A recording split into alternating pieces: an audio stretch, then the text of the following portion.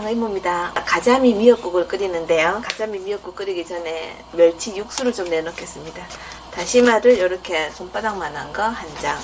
손바, 손바닥보다 조금 더 큰 걸 한 장 넣고요.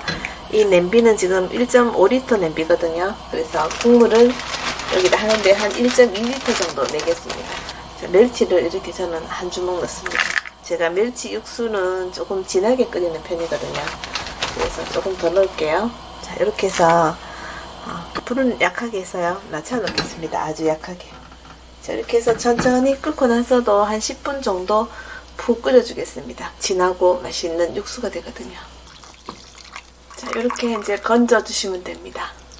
가자미는 저는 손질된 걸 샀거든요. 만약에 손질이 안 된 거라도 앞뒤로 비닐 다 벗겨내시고요. 지느러미와 머리를 잘라내시면 됩니다. 미역을 먼저 물에 불려야 되는데요. 저는 이게 어, 자른 미역입니다. 자른 미역이 편한 점이 어, 씻지도 않아도 되고 그냥 바로 물에 불려서 사용하면 되는 깨끗한 미역입니다. 이거는 줄기가 없고 잎만 있거든요. 물에다가 아, 반 종이컵을 물에 담갔습니다. 한 5분만 불리시면 돼요. 가자미를 자르고요. 또 여기에 필요한 거는 요거 있죠. 마늘 한 스푼과 대파 반 뿌리 잘게 송송 썰어 두겠습니다. 가자미를 잘라주는데요. 우유팩 같은 데다가 우유팩을 모아놨다가 이런 거 어, 생선 자르실 때 쓰시면 돼요. 요거는 한 4토막 정도 내면 될 것 같아요. 이렇게 직선으로 썰어 주시는 게 좋아요. 어스 썰면 뼈가 잘게 부서지거든요. 자, 이렇게 잘라주겠습니다. 가자미는 요 아래쪽에 하얀 부분에도 비늘이 다 있으니까 여기도 비늘 다 쳐주셔야 됩니다. 이 알도 이렇게 들어있습니다. 가자미에. 가자미 쏘는 동안 벌써 이렇게 많이 불려졌습니다. 참기름을 한 스푼만 넣어주겠습니다. 요거 불려둔 미역을 넣어주겠습니다. 아까 만들어 두었던 멸치 육수를 붓고요. 또 멸치 육수하고 물을 반반 섞으시면 돼요. 멸치 육수와 물을 이렇게 반반 섞습니다. 국물이 전체적으로 한 2리터 정도 됐습니다. 이제 국물이 끓으면 가자미를 넣으시면 돼요.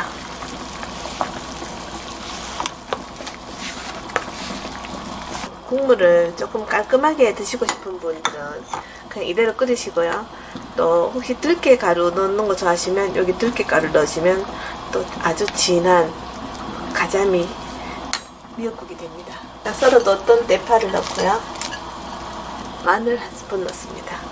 가자미도 한 5분이면 다 익고 뭐 미역도 금방 드실 수 있습니다. 이게 들깨 가루입니다. 들깨 가루를 이번에는 시골에서 들깨가루를 볶아왔는데 색깔이 좀 많이 진하더라고요. 이렇게 저는 듬뿍 이렇게 두 스푼 넣고요. 들깨가루도 얼마만큼 넣느냐에 따라서 국물이 깔끔할 수도 있고요. 조금 더 뻑뻑하게 하면 더 진하게 나올 수 있습니다. 한 스푼 더 넣을게요. 이렇게 거품은 조금 지저분하니까 빼내주고요. 미역국 국물 간은 이렇게 마지막에 하시는 게 좋아요. 미역국 국물 간을 미리 하시면은요 미역 속에 쩐맛? 그런 짠맛이 들어가거든요. 그래서 이렇게 잘못하면 안 짠데 짜다고 느낄 수 있습니다. 이럴 때는 국물 간을 나중에 마지막에 하시는 게 좋아요. 국간장입니다. 자, 국간장과 소금으로 반반 섞어서 간을 하시면 돼요. 액젓 이런 거 하셔도 되고요. 멸치 육수를 넣기 때문에요. 이미 국물에서 감칠맛이 나거든요. 이렇게 한 5분에서 한 10분만 끓이시면 드실 수 있습니다. 자른 미역은 오래 끓이지 않아도 드실 수 있거든요. 이제 한번 담아 보겠습니다. 가자미만 익으면 다 돼요. 자, 불을 끄고요. 미역도 아까 제가 반 종이컵만 해도 충분히 이렇게 이만큼 되거든요. 4인 아, 가족 2.8리터 냄비거든요. 여기다 지금 거의 한 냄비 가까이 다 됐습니다. 가자미는 비린 맛이 안 나기 때문에요. 이렇게 미역국 같은 거, 맑은 국 같은 거 끓여 놓으시면 깔끔하고 또 깊이도 있고 맛있습니다. 이렇게 가자미 살과 미역국 국물과 같이 이렇게 떠드시면 이렇게 처음 드셔보신 분들도 맛있게 드실 수 있는 가자미 미역국입니다. 자, 이렇게 가자미 미역국이 다 됐습니다. 특히 산모한테도 좋지만 연세 드신 분들한테도 참 좋은 미역국입니다. 상의무였습니다. 감사합니다. 생선 같은 거 구우실 때 순순하게 있죠. 간을 거의 안 하는 듯이 드시고 싶으신 분들은 이렇게 씻어서 바로 있죠. 소금을 이렇게 뿌리면서 조금만 뿌려서 푸시면 돼요. 그렇게 하면 이제 겉면이만 조금 간이 배이고 속은 그냥 간 없이 담백하게 드실 수 있습니다. 뒤집어서 또 소금 한 번만 더 뿌려주시면 됩니다.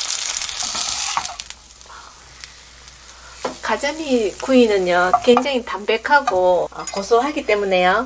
비린 생선 안 좋아하시는 분들도 드시기 좋아요. 가자미는요 미역국도 담백하고 맛있지만 이렇게 생선 가자미 구이 특별한 거 없이 소금만 뿌려 드셔도 맛있고요. 아니면 와사비 간장 이렇게 해서 찍어 드셔도 돼요